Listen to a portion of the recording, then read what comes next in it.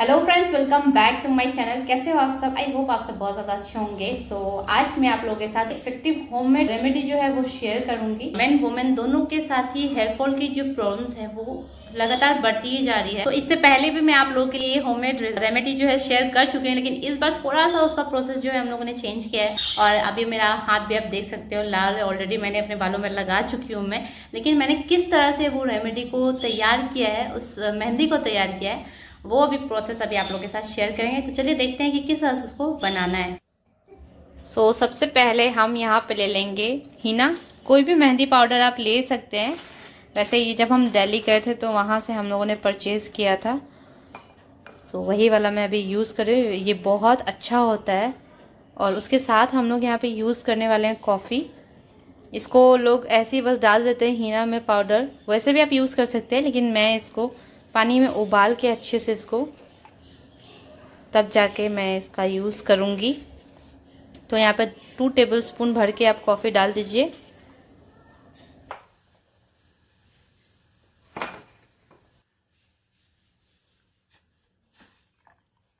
Coffee जो है बालों को बहुत नेचुरल कलर जो है देता है।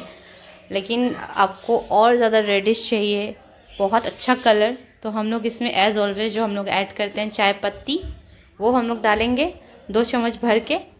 जितना आपको मेहंदी का पाउडर बैटर बनाना है, उसी हिसाब से आप चाय पत्ती के पानी को उबाल लीजिए। इन दोनों को अभी हम लोग कम से कम दस से, दस मिनट तक एटलीस्ट बस उतना देर तक उबलने देंगे, ताकि उसका जो पूरा कलर है वो पानी में आ जाए। जब तक हम लोग यहाँ पे बाउल में निकाल लेंगे अपना मेहंदी यहाँ पे मैं करीबन तीन चार लोगों के हिसाब से निकाल रही हूँ क्योंकि मुझे हम सबको ही लगाना है घर में तो हम लोग सबके लिए चार लोगों के हिसाब से मैं यहाँ पे निकाल रही हूँ। आप अपने हिसाब से जितने लोगों का भी लगाना है, उसी हिसाब से आप अपने अंदाजे से पानी और मेहंदी ले सकते हैं। वैसे ये प्योर राजस्थानी मेहंदी है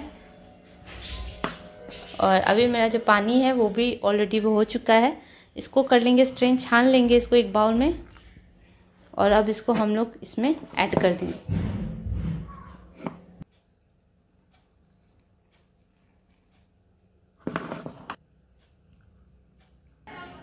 तो मैंने बहुत अंदाजे से पानी को डाला था और मेरा ना तो ज़्यादा पानी वेस्ट होने वाला है, बाकी सब इसी में लग जाएगा क्योंकि मेहंदी का क्वांटिटी भी जो बहुत ज़्यादा है तो इसको भी आराम आराम से हम लोग मिला लेंगे मिक्स कर लेंगे धीरे धीरे और जैसा जैसा आपको पानी लगता जाए, आप उस हिसाब से डालते जाइए। याद रखिए, बैटर को बहुत ज़्यादा थिक एकदम नहीं करना है और ना बहुत ज़्यादा पतला करना है। आप मेहंदी का कलर देख सकते हैं यहाँ पे, कितना अच्छा एकदम रेडिश रेडिश अभी ही लग रहा है। तो आप अंदाज़ा लगा सकते हैं कि मेहंदी बहुत अच्छी है। और इसको आराम से इस तरह से मिक्स करते जाएँगे। बैटर को हमें बहुत ज़्यादा पतला और बहुत ज़्यादा थिक भी नहीं रखना है। इसमें मुझे ऐसा लगता है अभी थोड़ा सा और इसमें वाटर डालेंगे हम लोग। दैट्स इट एंड इसको अच्छे से मिक्स कर लेंगे। मिक्स बहुत अच्छे से करिए ताकि कोई भी लम्ब ना रह जाए आपके। अगर आपके पास लोहे का बर्तन है तो फिर बहुत गुड है, बहुत अच्छी बात है। सबसे अच्छा अगर आप लोहे के बर्तन में जब भी मेहंदी को घोल के रात भर रख देते हैं ना तो वो बहुत ज़्यादा बहुत ज़्यादा अच्छा है आपके बालों के लिए, बहुत ज़्यादा, मैं बता नहीं सकती।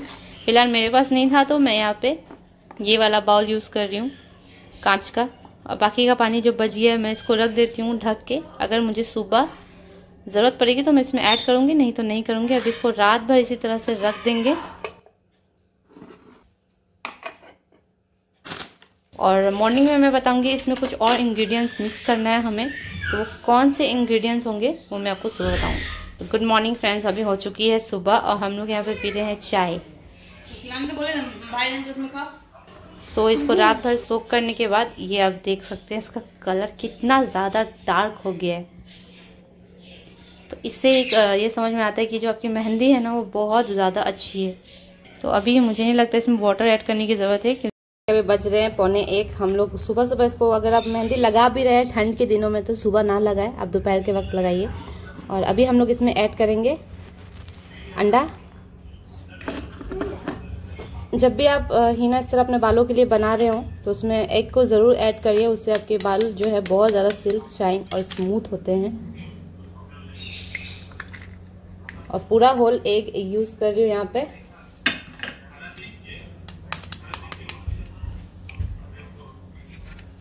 और अब हम लोग इसमें यूज़ करेंगे नींबू। नींबू, क्योंकि डेंड्रफ के लिए ठंड में डेंड्रफ भी बहुत ज़्यादा होती है तो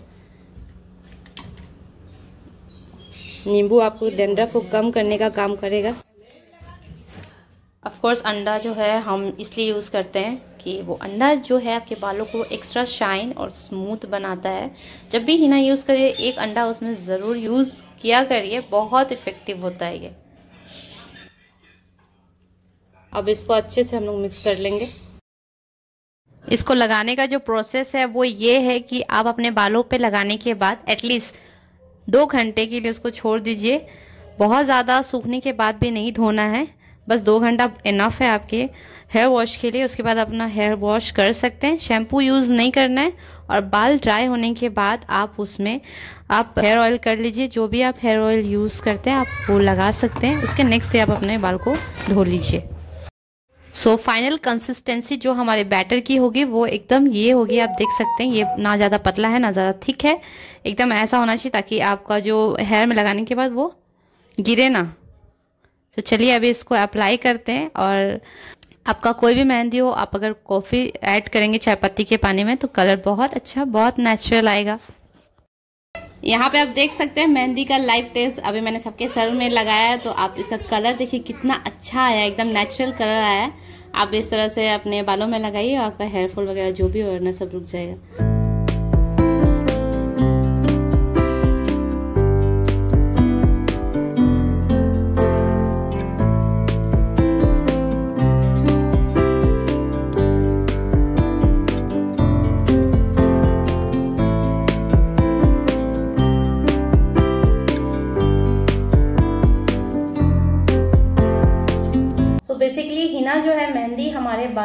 सॉफ्टन करता है स्मूथ करता है सिल्की करता है और बहुत ज़्यादा वॉल्यूम लाता है हमारे हेयर में। आज के टाइम पे हम कितना भी अच्छे से अच्छा शैम्पू यूज़ कर लेते हैं, बहुत तरह का दवाइयाँ खा लेते हैं, बहुत तरह का ट्रीटमेंट ले लेते हैं, लेकिन फिर भी जो कुछ दिन के बाद वो हेयरफॉल जो फिर से स्टार्ट हो जाता है, उस चीज़ को किस तरह से हम बैलेंस करके अपने लाइफ में कंट्रोल कर सकते हैं, अगर हम चाहे तो। हिना जो है, वो सदियों से जो लेडीज़ है, वो लोग अपने हेयर पे यूज़ करते हुए आ रहे हैं और कई बार हम लोगों ने भी नोटिस किया, जब भी हम इस तरह का कुछ यूज़ करते हैं तो वो इफ़ेक्टिव ज़रूर होता है, लेकिन हम लोगों का क्या दिक्कत स्टार्ट हो जाता है, हम लोग कभी किसी भी चीज़ को रेगुलर यूज़ नहीं करते। तो मेरे इस बताए हुए रेसिपी को, इस रेमेडी को आप लोग अगर अपने लाइफ में कॉन्स्टेंट शामिल कर लेंगे, जैसे कि महीने में एक बार अगर यूज़ करेंगे तो आप बहुत ज़्यादा फ़र्क देखेंगे। इवन मैंने भी इस चीज़ का फ़र्क देखा है, तभी मैं आप लोगों के साथ इस चीज़ को शेयर कर रही हूँ। मैं कोई भी चीज़ जब खुद पे अप्लाई करती हूँ तो ही मैं वो चीज़ आप लोगों के साथ शेयर करती हूँ।